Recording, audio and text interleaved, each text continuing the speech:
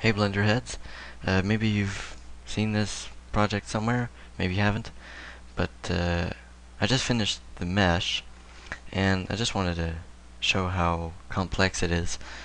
If I just uh, make this full screen, get rid of these tool panels, and tab into edit mode, you see th just this huge mess.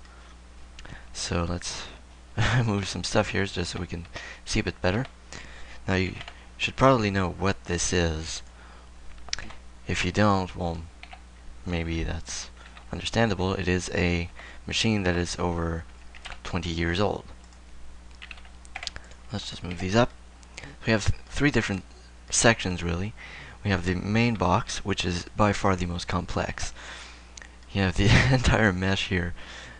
If you delete these edge loops in here, right where the corners are, this just goes all round and weird.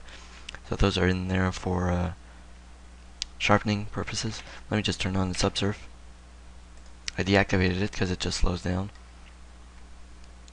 Uh, yeah, I have everything activated. So it's a fairly dense mesh. If you whoops, if you go over here, you can see it's just a mess. But uh, I've managed to keep all my uh, my my topology fairly consistent. Like in here, you still have the ability to change it and stuff. But uh, that's pretty much it. It was very complex getting this to work, and then because I had hidden the rest of the mesh while I was working on this, I had added in these loop cuts, it just made a huge mess with the rest of it, so I just had to delete the entire middle section and just start everything over, including on the sides here. These boxes were all just full of triangles, so I just had to delete those. So it was a bit of a pain trying to get those back the way they were supposed to. But uh, now the grid, let's uh, invert the selection, hide those. Now the grid is made to fit the different pieces.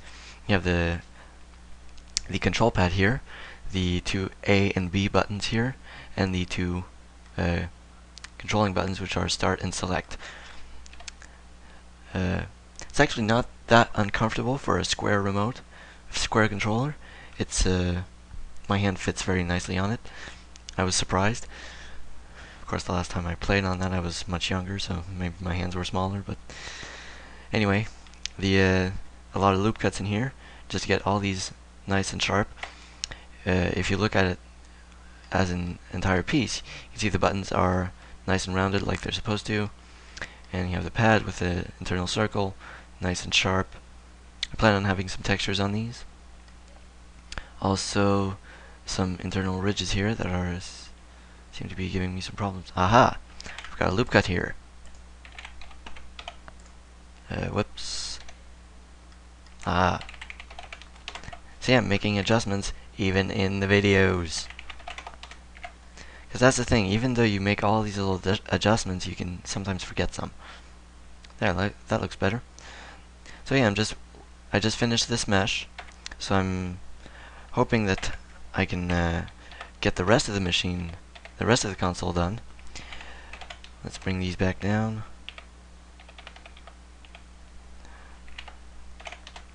And that's pretty much it for the, the controller. You have a very basic mesh here, which is basically just this with a mirror modifier, which is which just copies it x and y, and then you have this one, which has the same thing. So yeah, that's basically it. If you want to see the rest of the machine, this is what I have so far. Not much. Like this. Wait, where is it? Oh, there it is. This is the actual general shape, which I've used as a reference. This is pretty much final, but uh, it doesn't rotate properly. but uh, yeah, I'm just working on this. This is the next step. You have this plane back here, which is supposed to be the rest of the panel, because this is much uh, deeper. Too bad I can't pull up a picture. Hmm, maybe I can, just a second.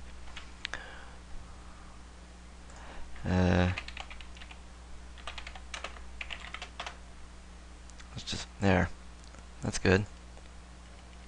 Nice crappy picture. So right here you have this little panel, which which is what I'm working on. Then I'll have to do these. So yeah, I'm just working on this. It's pretty complex too. Like, look at this mesh is just very dense. It was very fun to make though. Kind of looks like a Lego piece. But anyway, that's it. Just wanted to do a little video. So, yeah, see you around.